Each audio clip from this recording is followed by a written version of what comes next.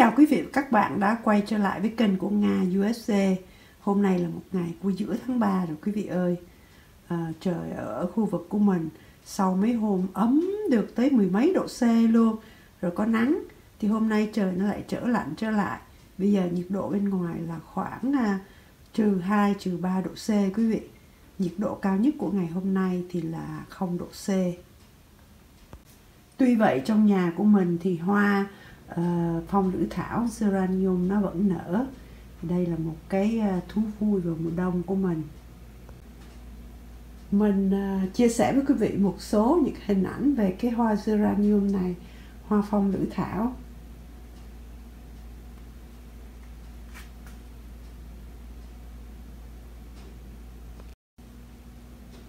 Như quý vị thấy đây ở trên màn hình thì phong lữ thảo của mình nó vẫn nở lai rai tuy là không có nhiều lắm, nhưng mà cái này là cho thấy là mình đã diệt được cái con sâu bướm và nó hoàn thành cái cây phong lưỡi thảo của mình. Và mình sau đó thì mình à, tưới à, tưới nước, bỏ phân vào lên rất là tốt luôn quý vị. Thấy cái lá nó xanh mướt mà thấy đã luôn á. Đây là những cái chậu phong lưỡi thảo của mình.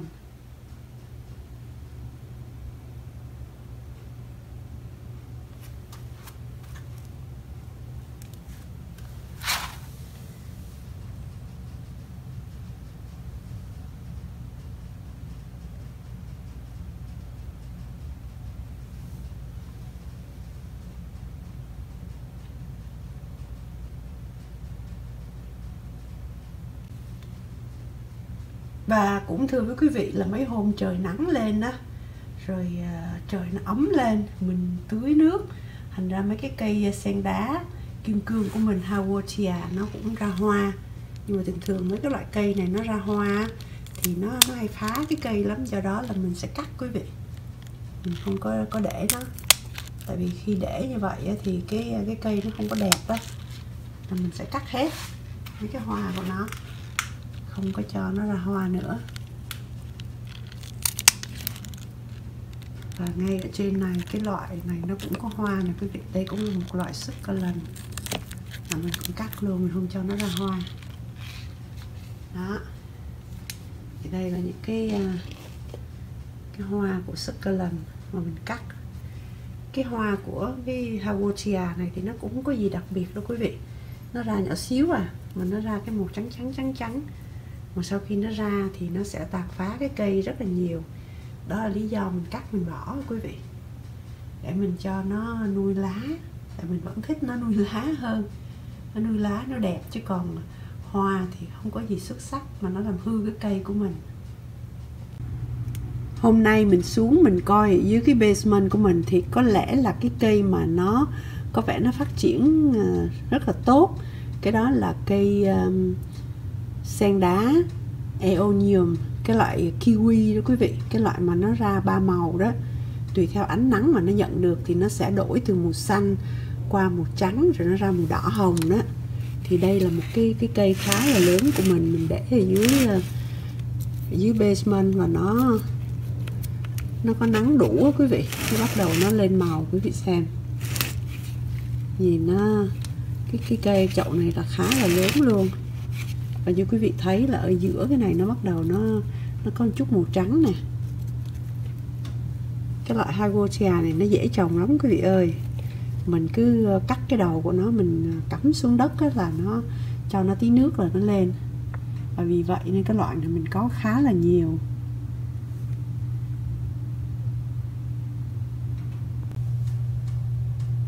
Cái chậu này thì nó nó đổi màu khá nhiều nè quý vị cái ở giữa nó ra màu trắng hết trơn luôn. Đó. và mình có một cái chậu nữa để mình quay quý vị xem. Cái chậu này thì để cái chỗ này nó không có nắng lắm rồi quý vị. Thành ra nhìn nó thấy không có gì đặc sắc ha. Trên này mình cũng có một chậu nữa nè. Chậu này nó cũng xanh không rồi nhưng mà cái lá nó mọc rất là tốt luôn và cái viền của nó nó ra màu đỏ. Tức là nắng nó cũng tương đối nhưng mà nó vẫn chưa có đủ để nó đổi màu.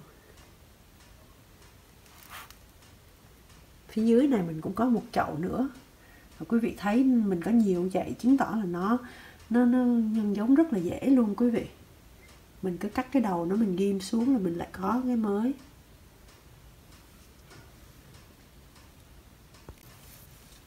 Đây là mới là cái chậu mình muốn khoe với quý vị nè quý vị. Nó có nhiều nắng á nên quý vị thấy nó, nó, bắt đầu nó đổi màu nhiều không? Mấy cái lá của nó phía trong á, bắt đầu nó nó ra màu trắng xanh hết trơn rồi. Đó. Cái viền nó thì nó vẫn còn màu đỏ nhưng mà nó nó chưa có đổi được ra hết màu, màu cam quý vị. Nếu mà đủ nắng thì nó sẽ đổi ra màu cam hết giờ đây là cái chậu mà mình có thể à, đạt nhiều nhất trong cái đám à, à, Aeonium kiwi của mình được quý vị. Nhìn đẹp ha.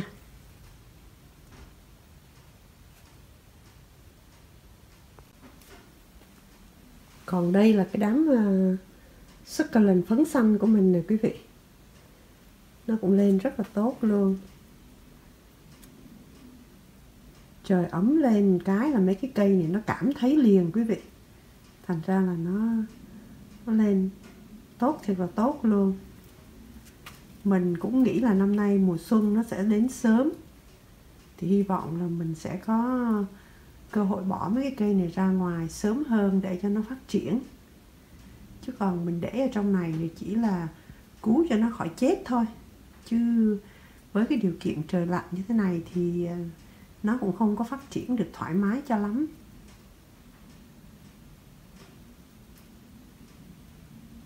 Mà có cái đám cây này thì mình cũng uh, chơi được lai ra qua mùa đông.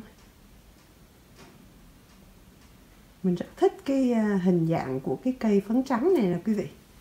Tại vì nó nó vươn cao lên và nó vươn thẳng lên. Và nó có cái màu uh, trắng xanh rất là đẹp. Hôm nay lại một cái cuối tuần đến với mình thì mình lại tiếp tục uh, dọn dọn dẹp cái cửa sổ thứ ba của mình. Ở đây mình có à, mấy cái chậu uh, rau lan rồi mới có mấy cái chậu rau dấp cá rồi mình có chậu hoa.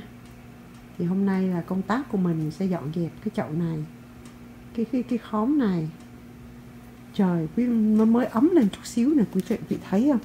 Cái cây uh, cây lồng đèn của mình nè. Nó lên tốt kìa không wow, nó lên quá trời tốt luôn. Cái loại này nó sống bằng rễ quý vị. Nó cứ có cái rễ ở dưới đó là cái tự động nó lên thôi.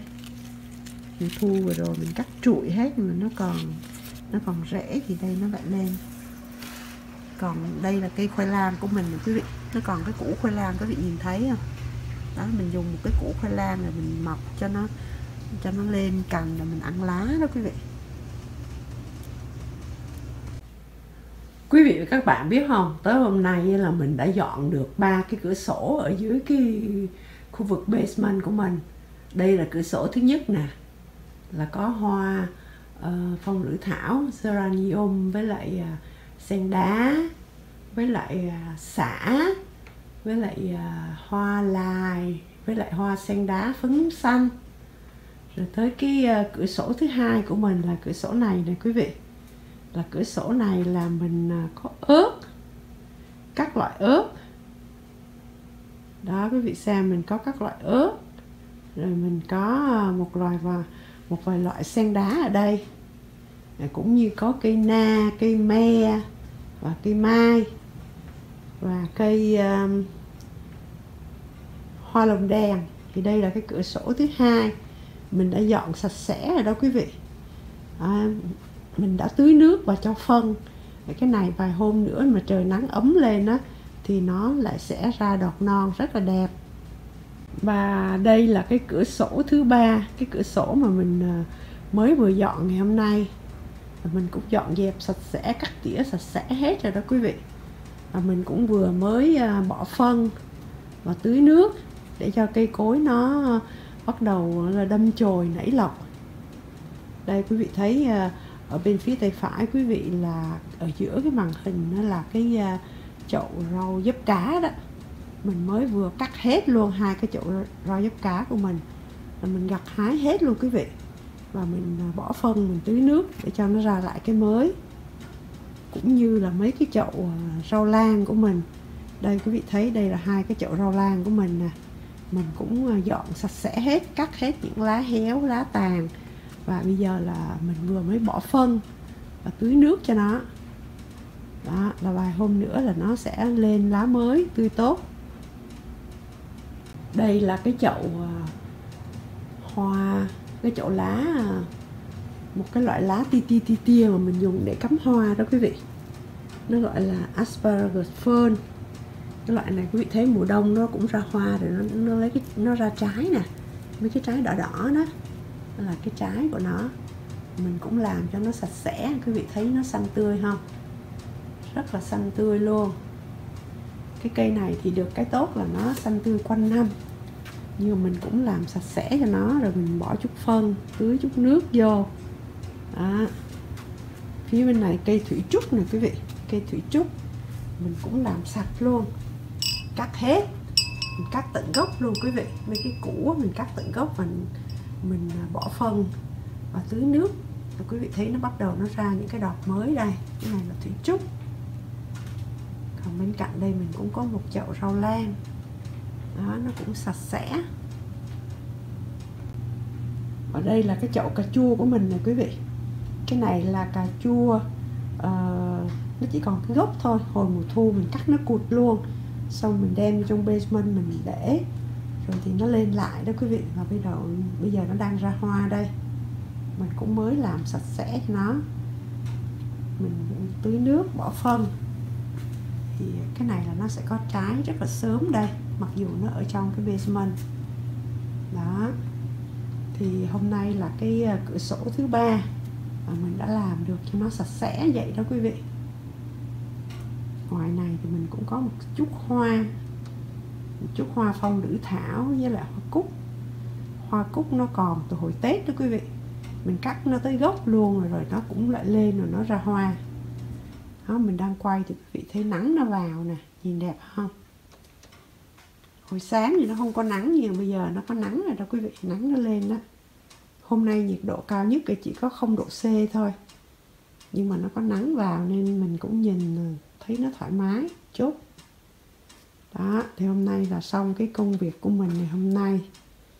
Mình à, xin phép quý vị mình dừng cái video này ở đây ha chia sẻ với quý vị một chút xíu cái công việc dọn dẹp của mình cho đầu mùa xuân. Cảm ơn quý vị thật là nhiều đã ủng hộ mình và cũng à, không quên chúc quý vị à, thật là nhiều sức khỏe và nhiều điều may mắn. Mình xin phép quý vị mình dừng ở đây hẹn gặp lại quý vị và các bạn trong cái video kế. Xin chào.